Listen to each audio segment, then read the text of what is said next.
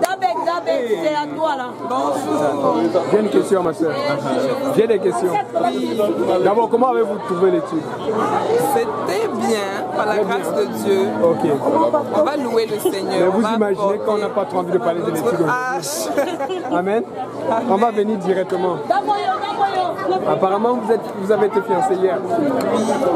Ok. Qu'est-ce que vous éprouvez?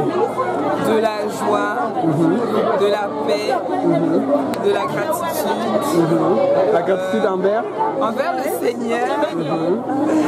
Euh, beaucoup d'émotions qui se mélangent à la fois. Pouvez-vous nous, On se mélange à la fois. pouvez-vous nous raconter l'histoire des fiançailles à l'aéroport, s'il vous plaît? Euh, alors, c'était le retour de ma mère qui rentrait au Cameroun, qui était venue pour un certain temps. En fait, elle allait en France et on était à l'aéroport, on allait vers le guichet de Air France. Et euh, au guichet, au lieu d'un agent, c'était le frère Qui était là, en lieu et place de l'agent. Et euh, il s'est tenu là avec un bouquet de fleurs et un gâteau.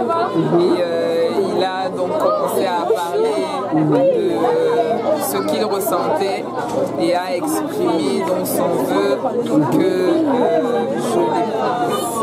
Et est-ce que vous avez hésité ou est-ce que vous avez... Ben, je n'ai pas répondu sur le coup parce que j'étais euh, prise de court, pour tout dire. Donc ça m'a pris un peu de temps pour euh, réfléchi comprendre ce qui se passait. Et puis euh, après un certain laps de temps, j'ai dit oui. C'est quoi le laps temps En minutes, en secondes Parce que j'ai entendu qu'au sujet du frère Achille, ça a été très long. Je suis en train de comparer. Je veux voir quels sont les frères qui ont le souffert le plus et les frères qui ont souffert le moins.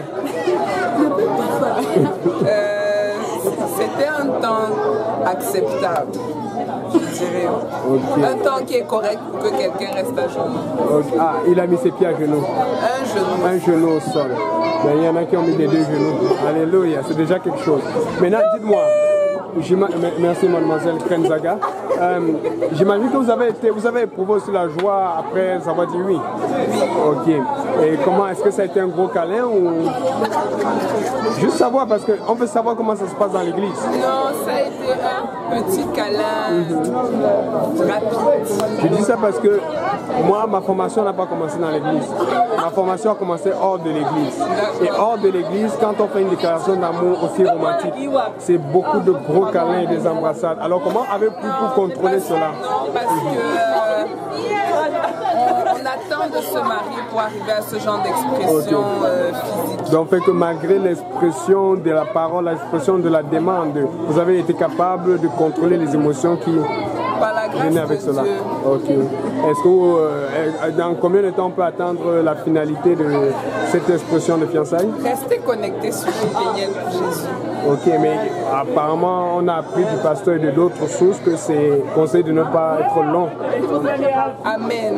On va obéir à ce que. Donc, si on pouvait aller d'une échelle de 1 à 6 mois, dans combien de mois pouvez-vous nous donner?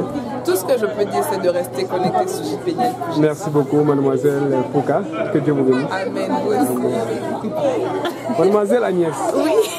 J'ai des questions. Mademoiselle Moyoni, c'est aussi pour vous, s'il vous plaît. Venez. J'ai des questions pour vous deux. Emmanuela. Comment allez-vous? Bien, merci par la grâce de Dieu.